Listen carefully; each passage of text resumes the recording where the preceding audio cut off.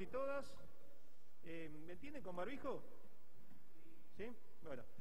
Eh, en, función de las medidas que se han ido adoptando en estos, en estos días, tanto el de nuevo anterior como el que todavía, el que fue anunciado pero todavía no salió, se ha decidido reforzar algunas, algunas de las políticas que teníamos para llegar a otros sectores. Lo, lo primero que quiero aclarar es que no estamos haciendo nada distinto de lo que veníamos anunciando. O sea, nosotros dijimos que mientras hubiera necesidades iba a, iba a seguir la política a asistir el por, el Gobierno Nacional a los sectores afectados. Lo que fuimos haciendo, fuimos modificando las herramientas, porque no tenía sentido mantener herramientas que eran compatibles con una situación como era la de marzo del 2020, en una situación absolutamente distinta. Ustedes en marzo del 2020 no veíamos pasar una bicicleta por la calle y hoy tenemos la industria manufacturera con niveles de empleo prepandemia, la industria de la construcción con niveles de empleo prepandemia y la cantidad de actividades restringidas son infinitamente menores que las que tuvimos en marzo del 2020, con lo cual las herramientas son distintas. Las herramientas que hemos anunciado ya y que estamos por sacar las resoluciones hoy son el REPRO, que lo que vamos a hacer a los sectores críticos, que son los más afectados, gastronómicos, hotelería, turismo, como ya creo que les dije la otra vez, vamos a llevar ese valor de 18 mil pesos y vamos a tomar, como el REPRO compara facturaciones, y la facturación de estos meses del 2020 no, no es un valor de referencia que corresponda porque es un periodo donde estuvieron cerrados, vamos a tomar la facturación del mismo mes de 2019, la vamos a actualizar y aquellos que hayan tenido pérdida de 20% en términos reales van a acceder al repro. Eso es para el salario, para ayudar a asistir al pago de los trabajadores. El mecanismo ustedes lo conocen, directamente las empresas se presentan a través de la página de la FIB, completan como declaración jurada sus datos, se analizan esos datos y aproximadamente esto, se hace normalmente, se abren las inscripciones alrededor del 20, 22 del mes y el día 8, entre el 8 y el 10 del mes siguiente, los trabajadores están cobrando en su cuenta la asistencia del retro.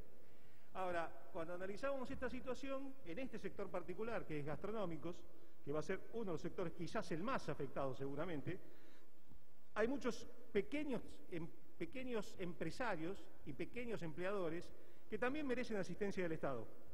Entonces lo que vamos a hacer es, vamos a ampliar la asistencia del Estado para, esta situación de este, este, pequeño empresario que él y la mujer atienden en un bar o que él y el hijo atienden en un bar y no tienen, no tienen trabajadores, hoy no tenía asistencia, lo que vamos a hacer es, eh, en esos casos, esos pequeños, esos pequeños hasta que, que puedan tener hasta tres, cuatro trabajadores, también le vamos a dar, en la medida que cumpla con los requisitos, la asistencia al repro como si fuera un trabajador más.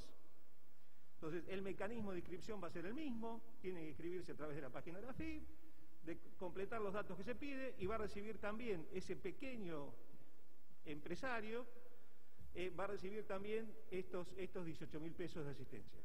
A lo mejor va a tener que completar más datos porque no tendremos la cuenta de él, pero bueno, la idea es compararlo, equilibrarlo, equipararlo a este, este, a este trabajador autónomo, monotributista, que se cuenta propista, digamos, en términos coloquiales, equipararlo con la ayuda con la que damos para los trabajadores.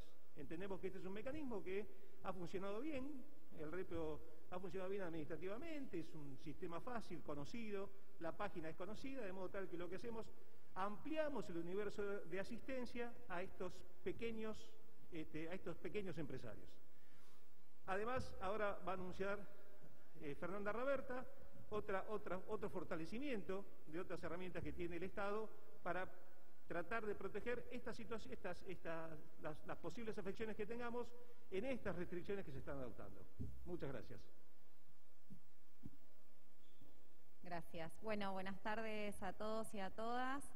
Eh, venimos a contarles que a partir de las medidas anunciadas ayer por el presidente de la Nación en materia de cuidados, eh, puntualmente en la zona de AMBA. Hemos decidido instrumentar una política de cuidado no solo en materia de salud, sino también en materia de ingresos, que tiene que ver con que cada titular de la asignación universal por hijo, vale decir, aquellas, el 94% de las titulares de la asignación universal por hijo son mujeres, o sea, las mamás de los chicos y chicas de la asignación universal van a tener por única vez la posibilidad de, cobrar 15 mil pesos, como así también los titulares de las asignaciones familiares que sean monotributistas A y B.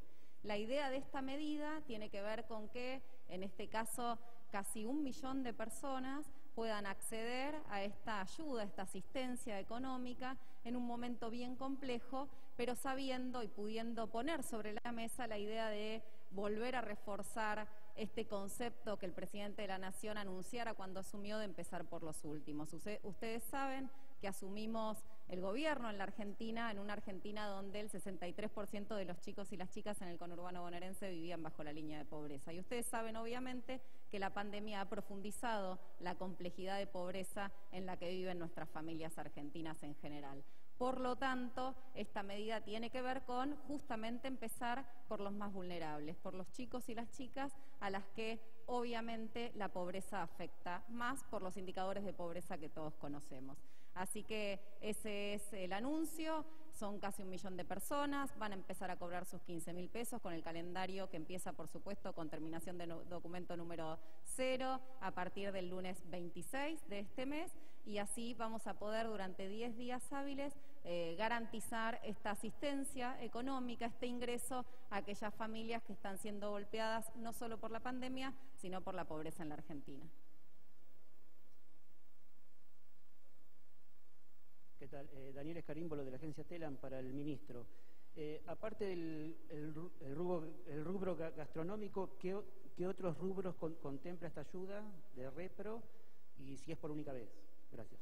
Eh, a ver, el repro para asistencia para el pago de salarios contempla a los sectores no críticos, que son los sectores generales de la economía, a los sectores críticos, que básicamente son este, gastronomía, hotelería, turismo, algunos servicios adicionales vinculados a estos, este, algunos servicios de transporte, o sea, todo lo que está vinculado a lo que realmente está complejo en la pandemia. Y contempla también un sector que está muy estresado, que es el sector de salud. O sea, el sector de salud también está con la asistencia del REPRO. El REPRO hoy, hasta ahora, no esta nueva versión, porque todavía eso no, tenemos la inscripción, eh, asiste aproximadamente unos 300.000 trabajadores mensuales, eh, eh, hasta el mes pasado eran valores inferiores porque eran 9 mil pesos para los no críticos, 12 mil para los críticos y 18 mil para salud. Ahora va a ser, los no críticos van a seguir en 9 mil, pero críticos y salud están en 18 mil. La asistencia para los pequeños empresarios y empleadores, por ahora la hemos analizado solo para el sector que vemos mucho más afectado, que es el de gastronómico y servicios anexos, expendio de bebidas, etcétera de bares, de, kioscos, pero este, si algún otro sector vemos que tiene afectaciones, también veremos de ir ampliando esta, herramienta. Son estos 15 días, si, después vemos que alguna, hay alguna otra restricción, veremos. Eh, yo quiero insistir con lo que dije al principio. La decisión del gobierno del presidente Fernández es, en la medida que haya sectores que necesiten asistencia como consecuencia de restricciones impuestas por la pandemia, porque las restricciones las impone la pandemia, o sea, todavía seguimos en pandemia, impuesta por la pandemia, veremos qué herramienta es necesaria para asistir a esos sectores. Sí, Alan Longi de AM750, consultarles, hoy el INDEC ha dado el número de la inflación de marzo de 4,8%. Eh, qué mensaje, qué medidas están pensando para mantener el poder adquisitivo de salarios y jubilaciones, un objetivo que el gobierno se planteó para este año. Gracias. Bueno, vamos con los salarios, vamos, empecemos con los salarios. Los salarios, nosotros tomamos una sabia decisión en el 2020 que es mantener vigente el mecanismo de la negociación paritaria. O sea, piensen que fue un año de una crisis económica enorme y otras crisis económicas que ha tenido Argentina, lo primero que se hizo fue suspender los mecanismos de fijación de salarios a través de las paritarias. Nosotros en plena pandemia mantuvimos abierto un mecanismo que nosotros lo consideramos absolutamente eficaz para lograr el objetivo, que es recuperar el salario real, que el salario real crezca, que son las negociaciones paritarias. ¿Qué es lo que estamos, qué es lo que pasó? Es bueno saber qué es lo que pasó en el 2020. En el 2020, en promedio, las negociaciones paritarias alcanzaron entre diciembre del 19 y diciembre del 2020 una variación de 37 puntos. Y de bolsillo la variación fue de 34 puntos, en el peor año de la historia económica argentina.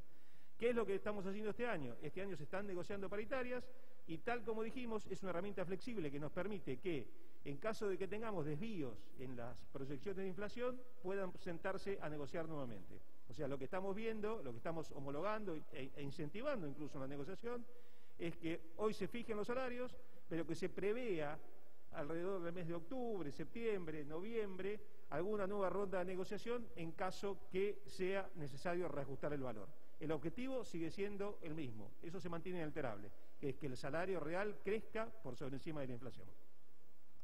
Con las jubilaciones también es sencillo de, de, contarles porque ustedes vienen siguiendo las noticias sobre nuestro calendario de pago. Ustedes saben que en función de la diferencia entre el aumento por jubilaciones trimestral y en los indicadores que dio la inflación, nosotros habíamos previsto poder tener la posibilidad de pagar dos bonos de 1.500 pesos cada mes, de tal manera de que el 70% de los jubilados argentinos tuvieron un aumento, sumado el aumento por eh, la fórmula de movilidad más los dos bonos de 16 puntos. Por lo tanto, estamos casi cuatro puntos arriba de la inflación. Por lo tanto, decimos que son más de 500 pesos que los jubilados y jubiladas le ganaron a la inflación, siempre con esta premisa que nos planteaba recién el periodista de que nadie pierda frente a la inflación, ni los asalariados ni los jubilados. Claudia Fernanda, buenas tardes. Martín Bustamante para Información Periodística. Eh, Quería preguntarles por el esfuerzo fiscal que va a implicar para el Estado estas medidas que están anunciando. Entiendo que eso no va a significar eh, aumentar la emisión monetaria y mm, además quería consultarles qué estrategias están pensando justamente para afrontar ese eh, esfuerzo, qué estrategias recaudatorias, si están pensando eh, la posibilidad de enviar al Congreso un proyecto como fue el del aporte extraordinario a las grandes fortunas. Y por otro lado, también quería consultar si están pensando solicitar a los distritos que también eh, hagan un esfuerzo, sobre todo aquellos que tienen más recursos, como es el caso de la ciudad de Buenos Aires.